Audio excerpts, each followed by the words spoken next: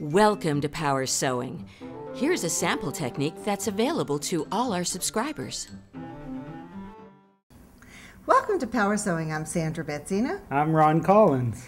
Today, what I want to show you is how to work on stretch tulle because you see a lot of ready to wear shirts in this where you'll see, you know, it's, it's very sheer. You can see through it. They may do it singly or they may cut the fronts double. Okay. Now, one of the biggest problems with this is they cut theirs with a laser and it gets very crisp. But when we try to cut ours with scissors, I'll show you what happens after you wear it a few times. It begins to get kind of raggy looking. Okay. Do you see? Mm -hmm. Because somehow they cut it and seal it, and right. we can't do that. So I thought of a way around that problem. But the first thing I want to talk about is when you think about stretch tulle, that it comes in different grades. You see, here's one that's pretty stretchy, and right. I made a little t-shirt in that double. And then there's another one.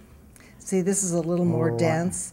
And then there's this one, which With, is quite dense. So that it has bigger holes. Bigger holes, and okay. it's. But in all cases, they're a knit and they stretch.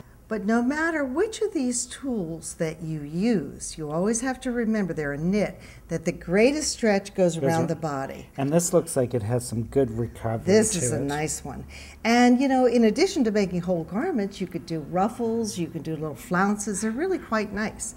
So now what we have to use to sew with it though is the knit needle, which is a 7511 HS, mm-hmm. and that's very important. For stretch fabrics. Right.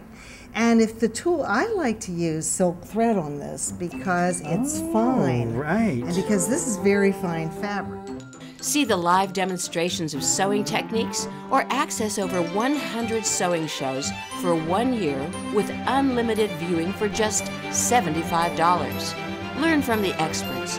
Enroll now at powersewing.com.